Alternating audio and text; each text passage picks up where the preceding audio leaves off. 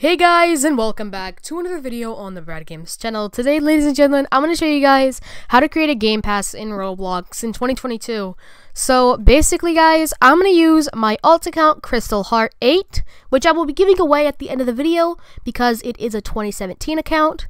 So I'm going to go ahead and give this account away um, at the end of the video. So what you guys want to do is you can either create click the create button or the uh, creations that you have which you get when you first join the game. You can click right here, add pass, or you can go in here, manage my experiences, and then you go to passes. Either way, this is exactly how you create a game pass. So on mobile, what you will have to do, this is for PC of course, because I'm on a pro I'm on a PC. What you do on mobile is you'll go onto Safari or Google Chrome or whatever, and you will go ahead and log into your Roblox account, and then it's pretty much just uh, the PC version of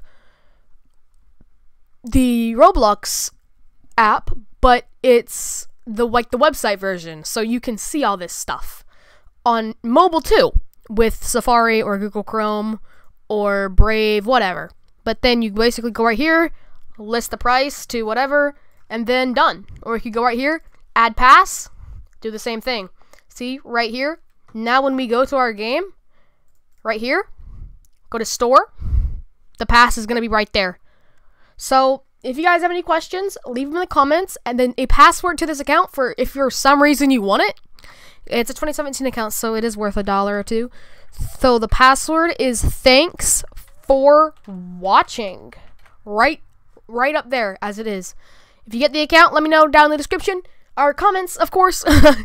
but thanks for watching, guys. Please do leave a like and subscribe with the post notification bell turned on if you did find this really helpful. And I'll see you guys in the next video. I've had a tough few past uh, few days, and uh, uh, it makes me happy and helps me out a lot when I get to know that I am able to help some people.